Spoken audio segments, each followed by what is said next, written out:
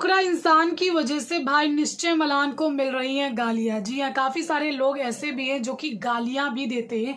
आप खुद सुनिए निश्चय मलान ने क्या कहा है। लाइव आकर के उन्होंने सारी चीज़ें बताई है तो आप देखिए कि उनका क्या कहना है। चार दिन में इतनी गालियाँ खा चुका हूँ, जो मेरे को मेरे यूट्यूब के सात साल में नहीं पड़ी, वो पिछले डेढ़ दो हफ़्ते में पड़ चुकी है just because I am supporting my brother तो जो भी अभिषेक को सपोर्ट कर रहे हैं, और वो, उनकी तादाद थोड़ी कम है वैसे लाइक पर वो चार पाँच लोग जो सपोर्ट करते हैं अभिषेक को, उसके सपोर्ट में कोई भी स्टोरी या फिर कोई मैसेज भी कर देते हैं, उनको भर भर के गालियाँ पड़ती हैं। जश जश ढोका इज़ सेइंग लिमिट रीच हो गई ब्रो अरे।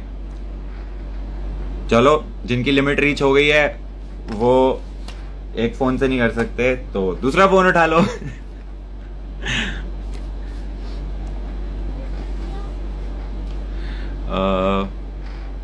भाई आप भी एक हज़ार एक कार लेकर जाओ मुंबई। हमारे पास एक हज़ार एक गाड़ियाँ हैं नहीं भाई। Hundred percent agreed Nishchay we are with the right person competition full है बट कंपटीशन काफ़ी क्लोज है, ये चीज़ याद रखना।